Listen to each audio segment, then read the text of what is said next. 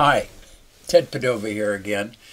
I'm going to talk to you in this video about how we can add state drop-down lists and country drop-down lists and do that without having to type in all the values for each one of those lists. In 30 seconds, once you have a field, you can just copy and paste it into a document. Now, the first thing I will be honest with you is going to be a little bit difficult just to find the fields that you need. But it's readily available, and all you have to do is go to your uh, web browser. Let me open mine here and search for something like states field in HTML. We want to get a field on a web page that lists all the states, or if you want countries, one would that, that would list all the countries. So I have a list here, and I have found one. And over in Acrobat, once once you do find one, what you want to do is copy the URL. And what we're going to do is use Acrobat's convert web page to a PDF.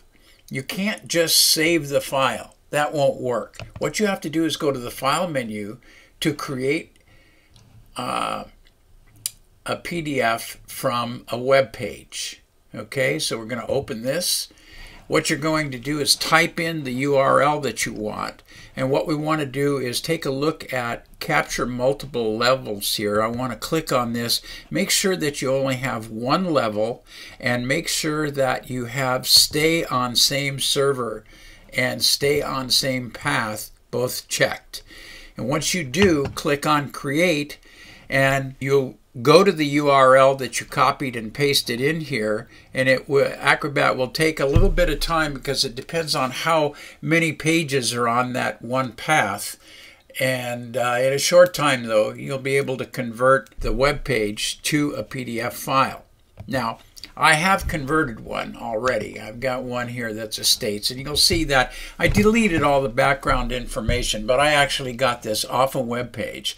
what I'm going to do is click on this field, and I'm going to copy it, and I'm going to go to my form, and you see that I have a state area here. I'm going to paste this. I'll go to Edit and Paste and this field obviously is going to take a little bit of editing, but that's okay. It's a lot less time than it would be to type in all of those states in a drop-down list.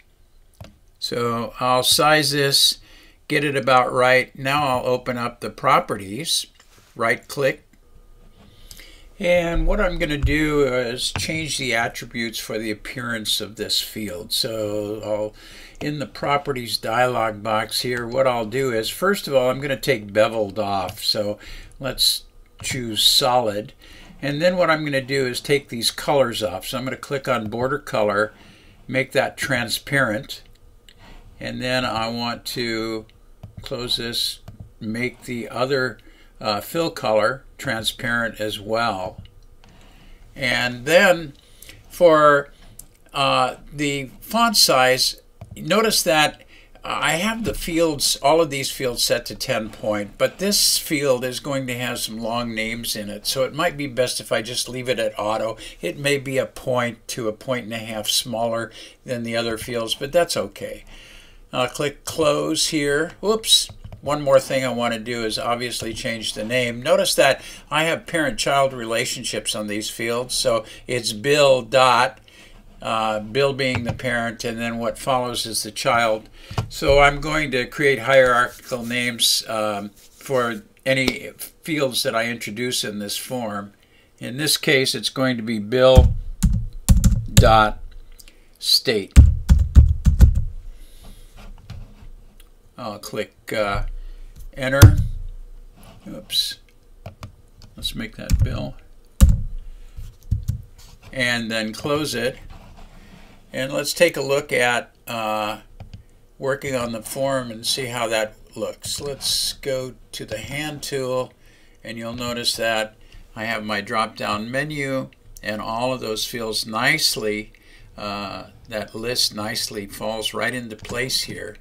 And that's how you can add a state drop down menu in Acrobat. We can also do that with a country. We can do it with uh, zip codes and uh, area codes for phones and things of that sort. Anything that you find on an HTML page, you can capture, if it's not secure, uh, you can capture the page and you'll have access to whatever fields are on that page. In some cases, JavaScript may not work exactly the same, but for the most part, the fields that you uh, capture that are list fields or combo boxes, things of that sort will work just fine. Once again, this is Ted Padova, and I wish you all the best in all your forms creation activities.